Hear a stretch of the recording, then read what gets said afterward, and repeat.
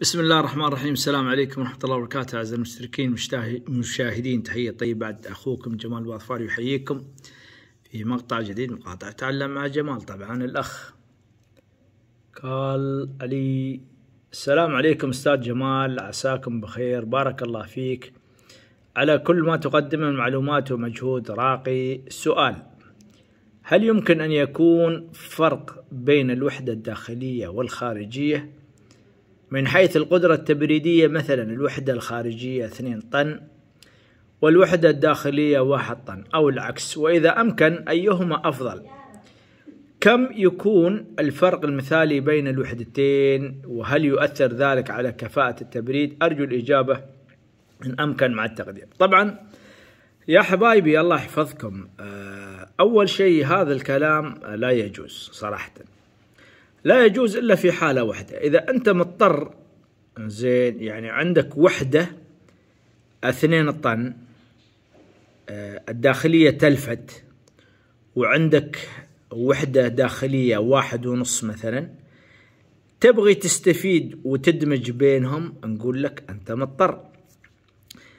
العكس نقول لك أيضا أنت مضطر. أما أنك والله تتعمد هذا الشيء يعني تروح السوق انزين وتشتري وحدة مثلا اثنين طن داخلية على وحدة خارجية واحد ونص طن تقول أنا مثلا أبغي أمكس بينهم أبغي أخلط بينهم أبغي يعني أستخدم هالوحدات. فهذا الكلام أمانة غير جيد ولا يجوز. لأنك أنت بهذه الطريقة أمانة يعني ما تستفيد من سعة التبريد الفعلية للجهاز. يعني على سبيل المثال إذا كانت هذه الوحدة إذا هو يتكلم عنها الوحدة اثنين طن وجاي أنت تبغى تركب لها واحد طن. يا أخي الواحد طن الداخلية صغيرة. يعني الشبك الداخلي صغير المروحة صغيرة يعني كمية الغاز اللي راح تأخذها أيضا قليلة. مقارنة مع الاثنين طن هذه اللي الشبك الخارجي كبير الضغط أيضا كبير آه، كمية الغاز أيضا كبيرة. وبالتالي أنت تضيع آه، صراحة يعني جالس تصرف كهرباء على الفاضي. سواء كنت آه، كانت الوحدة مثلا الداخلية 2 طن والخارجية مثلا واحد ونص أو العكس. أنت ما راح تستفيد من هذا الموضوع. الأفضل يعني إذا أنت يعني اضعف الإيمان. وحدة خارجية 2 طن أكاي ممكن تركب عليها هيتاشي داخلية 2 طن. يعني واحد زايد واحد. وحدة خارجية آه سامسونج وعندك الداخلية مثلا آه جنرال تدمج بينهم ممكن بس تكونون في يكونوا في نفس السعه ولو إني أنا ما أيد هذا الشيء. لأن في فرق. في فرق بسعة التبريد بين الأجهزة. يعني جنرال مستبيشي ساعات التبريد فيه تختلف عن الوحدات العادية. زين؟ يا أخواني مثل يعني أعيد وأكرر يعني مثل ما أنت جاي تركب ماكينة أربعة سلندر على سيارة أصلا هي ماكينتها ستة سلندر أو العكس. زين يعني هذيك يا دوبها تقوم تشيل عمرها. زين والثانية صاروخ. أو إنك تركب ماكينة آه ستة سلندر على آه سيارة ماكينتها أصلا ثمانية سلندر. ففي مشكلة عندك تصير عندك مشكلة. تجلس تصرف بترول على الفاضي. يعني أنت مو مستفيد لا من ماكينة ولا من حتى في صرفية البترول. وبالتالي يا إخواني الله يحفظكم. لا ت... يعني لا توصلون لهذه المرحلة انك والله تقول أنا بركب اثنين طن داخلية أو خارجية على واحد أو واحد ونص طن داخلية جهاز آخر. أنت كذا أعيد وأكرر تصرف كهرباء مو مستفيد من الغاز الموجود. أيضا سعة التبريد غير مناسبة.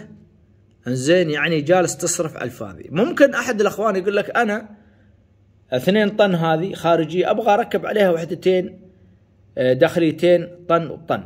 يعني أبغى أوزعهم على الغرف. نقول له ممكن ولكن هذه الطريقة راح تحتاج إلى عدة أمور. يعني لازم تكون أنت فني فاهم متى تفصل الوحدة الداخلية الأولى عن الوحدة الداخلية الثانية متى تتوقف الوحدة الخارجية عن العمل. في حالة توقف الوحدتين لأن هذه شغلة هذه يبغى لها نظام سيستم لكن إنك تخلط اثنين طن على واحد أو واحد ونص على اثنين ما أدري.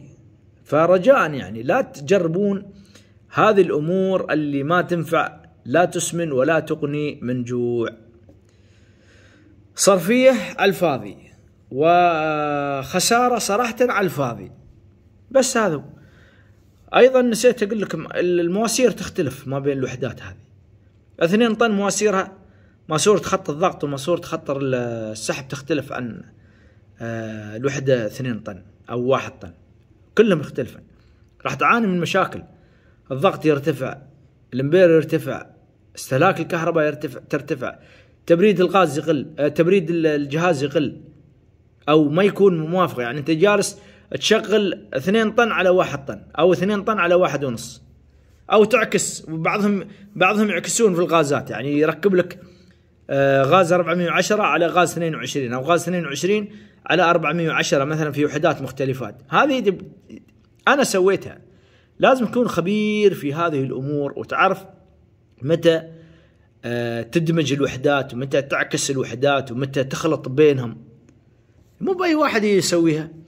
زين أرجو من الله العلي العظيم أن أكون قد وفقت في ايصال هذه المعلومة. ونلتقي إن شاء الله معكم في مقاطع أخرى نتعلم مع جمال. إذا عجبك المقطع لا تنسى الاشتراك وإبداع الإعجاب وأيضا نشره.